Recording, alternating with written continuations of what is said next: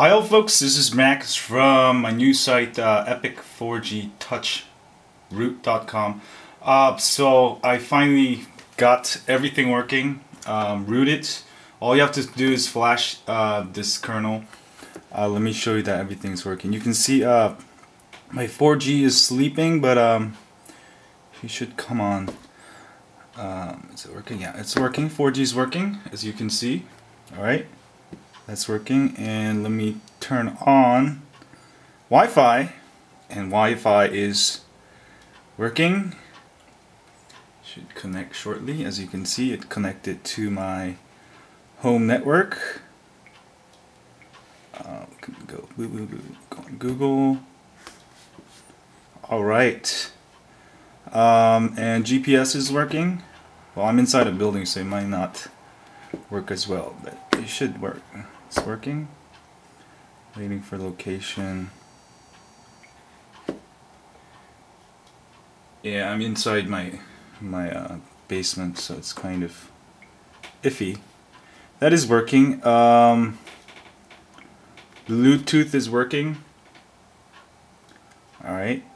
And finally, 3G is working. Well, I'm on 4G, but it should show you that uh, you can connect to 3G also when I, yeah, there you go, 3G. There we go, we have it, finally root. And I want to thank uh, everybody who's been helping me out. I've, this is actually the first uh, rooted kernel I, I made, but um, you know, I learned a lot. I want to thank Shabby Penguin, who's helping me a lot, and uh, Tanin, T-A-N-I-M-N. Um, those two guys helped me finalize the uh, kernel. Want to call it Zedomax kernel since that's my username on XDA.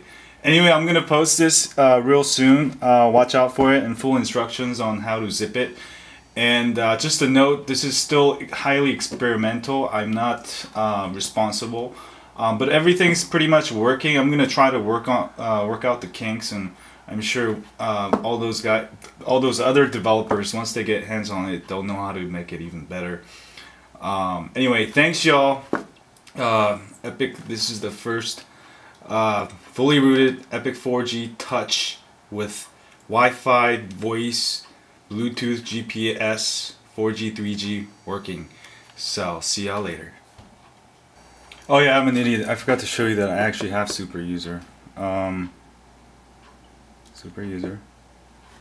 And actually I tried Wi-Fi tether. It's working on 3G, um, but it's not working on 4G. I think it's some kind of sprint. Uh, as soon as I turn on Wi-Fi tether, 4G will probably go off. Maybe not.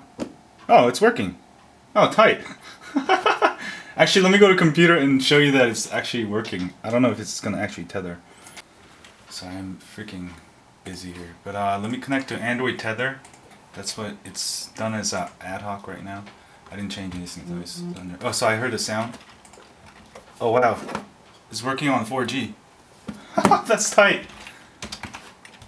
That's tight.